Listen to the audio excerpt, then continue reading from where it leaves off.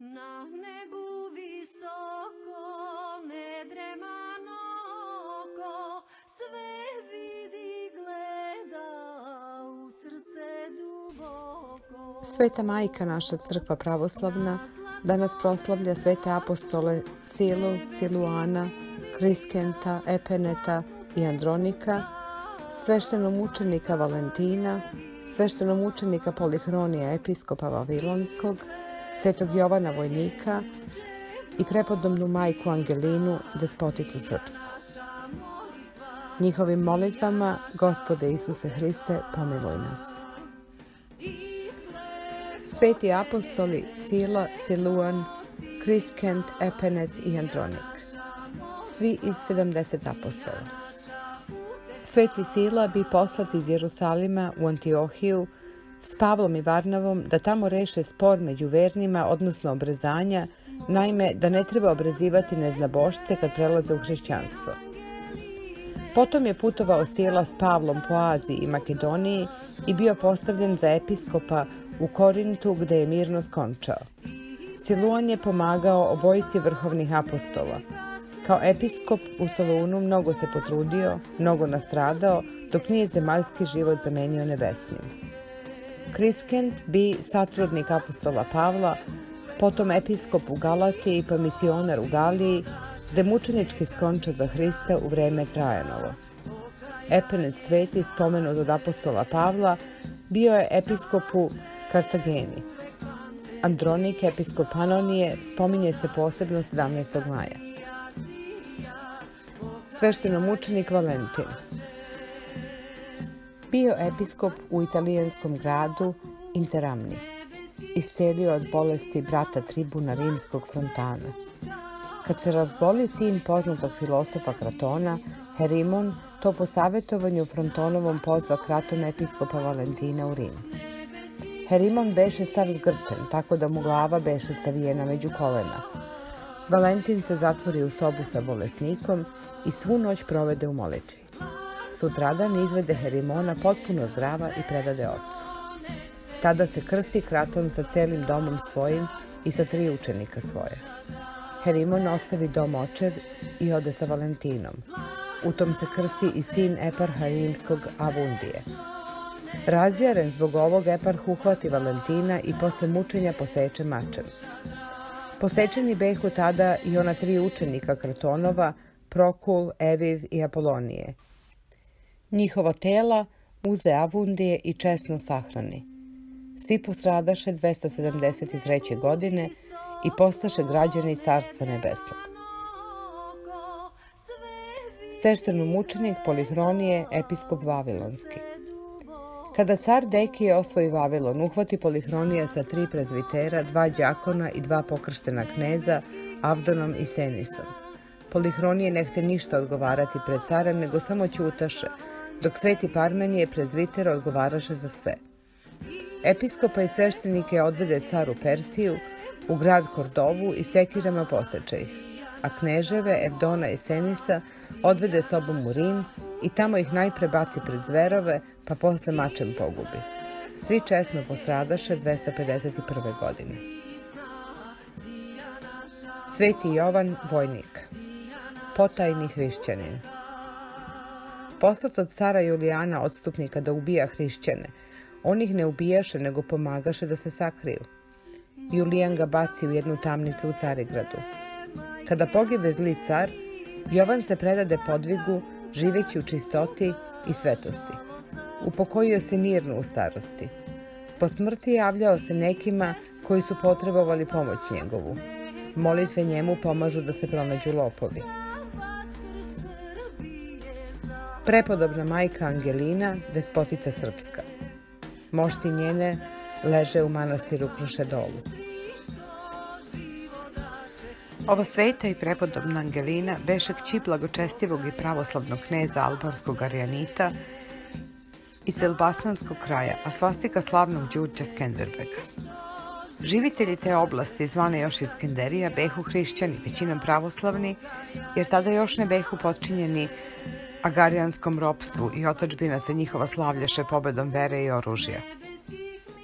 U dvoru kneza Arjanita rasla je mlada kći njegova Angelina u strahu Božijem i pobožnosti, upućujući volju svoju i sve svoje duhovne darove na tvorenje volje Božije. Ime njene majke nije poznato, no i ona je sigurno bila veoma pobožna i čestita, kad je tako hrišćanski divno vaspitala kćer svoju u evanđelskom učenju i vladanju. Još od detinstva se na svetoj Angelini video prst promisla Božijeg, koju je pripremio za podvige koji su joj predstojali u njenom budućem životu. U to vreme u albanske krajeve dođe kao izgranik despot srpski Stefan Slepi, drugi sin despota Đurđa Brankovića. Njega i njegovog starijeg brata Grgura Turci su 1441. godine zatvorili i oslepili, pa ih posle 1444. godine slepe vratili u očev dom. Po smrti njihova oca, despota Đurđa, vladaše neko vreme Srbijom njihov najmlađi zdravi brat Lazar, a onda despotom postade ovaj blaženi stradalnik Stefan, dok se njegov stariji brat Slepi Grgur zamonašio u Hilandaru, gde je kao monah German i umro 16. oktobra 1459. godine i pogreben. Na dva meseca pred pad srpske prestolnice Smedereva, zbog opšte razjedinjenosti i razbijenosti srpskog naroda, neki đavolom upravljani ljudi slagaše kako je to Bože despot Stefan neko zlo učinio, te ga istiraše daleko iz otačstva svojega, tako da u tuđini mnoge bede i nevolje podnese. Pravedni Stefan se tada preko Budima povuče kod svoje sestre Katarine, celjske grofice, a od nje otide u Dubrovnik, pa odatle u Albaniju da tamo potraži sebi bezopasno pristanište. Došavši u Albaniju, na njemu se zbi reč gospodnja. Gospod štiti došljaka, jer njega knez Arijanit usrdno primi kao brata i prijatelja. Pa pošto se boravak despotov kod njega produži tako da on posade kao domaćin, česna kći kneževa Angelina u srcu svome zavole slepoga Stefana, kao nekada kostara pravednog kralja Vladimira i zamoli od roditelja blagoslov za brak sa Stefanom. Roditelji dadoše svoj pristanak i blagoslov, te se Angelina venča sa Stefanom u skadru 1461. godine, pošto u duši svojoj željaše da u svemu deli sudbinu sa izgnanim pravednikom slepnim despotom Stefanom.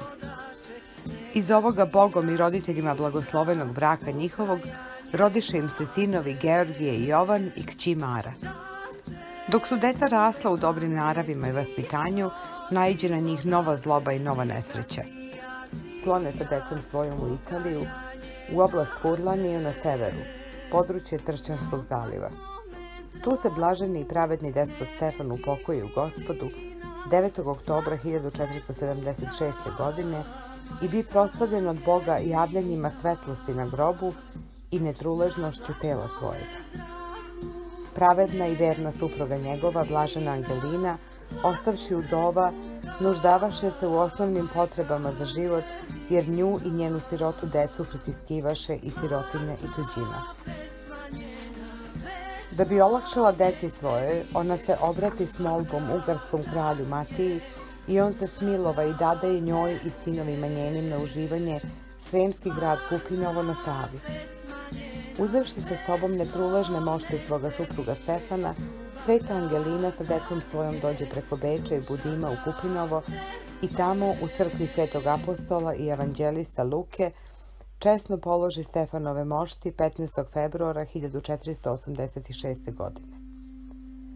Mađarski kralj Matija podario je bio starijem sinu Angelininom Đorđu titulu despota i neke sremske oblasti, no on se ubrzo toga odreće u korist svoga mlađeg brata Jovana i sam se zamonaši 1495. godine u manastiru Kupinovu, dobivši na monašenju ime Maksim.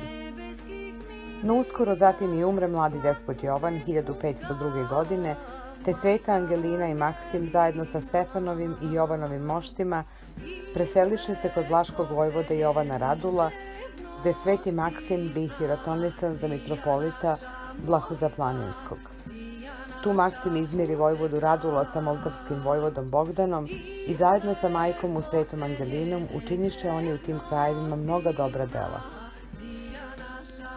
Nekoliko godina kasnije Sveta Angelina se sa sinom Maksimom vrati u Srem.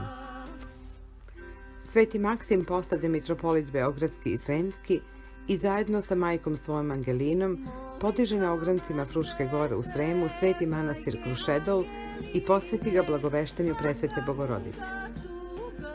Tu sveti Maksim prenese iz Beograda svoju episkopsku stolicu i na taj način obnovi Sremsku arhijepiskopiju. Uskoro i on počine u gospodu 1516. godine 18. januara kada se slavi njegov spomen i bi pogreben u svojoj zadužbini Krušedolu. Prepodobna mati naša Angelina primi ovde u Sremu sveti i anđelski monaški čin u ženskom manastiru kod Krušedola, zadržavši na monašenju isto ime Angelina, što znači anđelska. Od početka svoga zemnog života ona se usrdno podvezavaše na spasenje svoje duše, no sada priloži trud trudu i podvig podvigu. Sva se predade molitvi, delima milosrđa i opravljanju svetih hramova i manastira Božijih u Sremu. Zbog svih tih svojih mnogobrojnih dela, ona je kao savršena hrišćanka, supruga, majka i monahinja od naroda s pravom dobila naziv Majka Angelina. Poživevši tako sveto i bogougodno, ona najzad počinu od trudova svojih i mirno usnu u gospodu 30. jula 1520. godine. Sahranjena je bio u ženskom manastiru kraj Krušedola, a kada posle nekoliko godina njeno sveto telo bio objavljeno, njene svete mošti piše prenete u crkvu manastira Krušedola i položene u isti čivod sa moštima svetog sina Jovana Despota. Ove svete i čudotvorne mošti sremskih svetitelja Brankovića Turci su zajedno sa manastirom Krušedolom palili 1716. godine, a sačuvala se od tada samo leva ruka svete majke Angeline. Službu ovoj svetoj majci srpskoj napisao je uskoro po javljanju njenih čudotvornih moštiju jedan od žitelja manastira Krušedola. U ovom svetom manastiru na dan njenog spomena 30. jula biva veliki praznik i Narodni sabor – Molitvama Svete Majke Angeline neka Gospod sve milostivi nas pomiluje i udostoji udela svetih njegovih. Amin. Neznabožni vladar, strašni car Dekije, u jarosti viknu, o polihronije, što bogove rimske starče ne poštuješ, zapovesti carske što nećeš da čuješ. A svetitelj ćuti, ništa ne govori. Opet car ga pita, a svetac ne zbori. Nem je ovaj čovek, zaključi Dekije. Naš otac Nem nije, reče Parmenije. No neće da zbori, drži usta čista. Drži usta čista po naredbi Hrista. Ne bacajte svoga bisera pred svinje, ne dajte psima božanske svetinje. Svetac čuva biser, drži ga u sebi, da ne prlja usta govoreći tebi. Deki je razjaren ko nikad u veku, naredi Parmenu jezik da oceku. Ocekoše jezik, no šta mu to znači? Govor sveca posta divniji i jači. To gospod ratuje za revnosne sluge, čuva ih od stida i ljudske poruge. Rasuđivanje Treba razlikovati grešnika od pokajnika. Ako si uzeo na se ulogu da izobličiš grešnika, čuvaj se dobro da ne izobličiš i pokajnika. Kako je pokajan grešnik mio Bogu, seti se iz priče o bludnom sinu. Neka i tebi, dakle, bude mio onaj ko je postao mio Bogu. Dogodilo se u ona vremena da jedan monah padne u greh, zbog čega bude izgnan iz manastira. Taj monah ode svetom Antoniju, ispovedi greh, pokaje se i ostane kod Antonija neko vreme.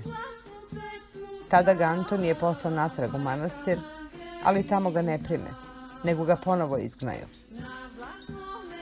Opet dođe pokajnik Antonije.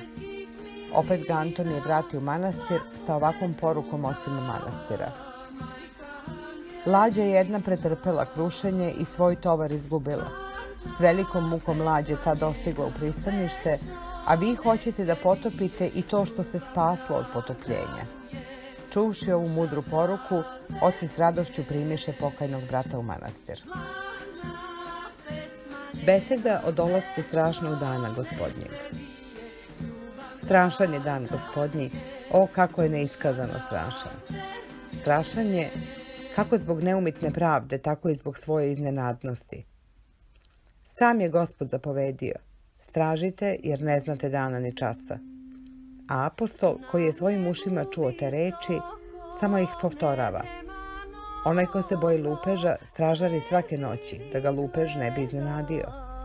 Onaj ko se boji dana gospodnjega, stražari svakoga dana i svakoga časa, da ga taj dan i čas ne bi iznenadno uhvatio na grehu. I suviše smo mi priviknuti na pravilno okretanje točka vremena i na pravilno odnizavanje dana i noći, tako da ne slutimo približenje huke onoga dana koji će zaseniti sve dane i zaustaviti točak vremena i izlomiti sitne paoce njegove. Kao kad sunce nadnese lice svoje ognjeno nad milione voštanih svećica i zatamni svetlost njihovu i rastopi vosak njihov. Strašan, strašan, strašan je dan gospodnji. Kad taj dan nadnese svoje ognjeno lice nad svećice sadašnjih dana, ovi će se pogasiti i potamneti, nebesa će s hukom proći, nebesa prema kojima se računaju sadašnji obični dani, a stihije će se od vatre raspasti, raspašće se materijalne stihije, zemlja, voda, vazduh i oganj. I neće ih biti. Biće sve novo. I zemaljska naša postojbina i sva dela na njoj izgoreće. I neće ih biti. Biće sve novo. I naša sva dela izgoreće. Kad Bog ne žali svoja dela, zar će žaliti naša? Neće Bog tražiti dela, nego delatelje. Delatelji će se javiti njemu na sud, a dela njihova spalit će se i sve će biti novo. Ko se osudi, osudi, ko se nagradi, nagradi za svu večnost. Strašan je, braćo, vaistinu strašan dan gospodnji. Strašan zbog iznenadnosti svoje i strašan zbog neumitne pravde Božije. O gospode pravedni, učini nas trezvenim i budnim. Naredi angelima tvojim svetim da nas drže u trezvenosti i budnoći, te da nas greh ne opija i ne uspava. Tebi slava i hvala vavek. Amin.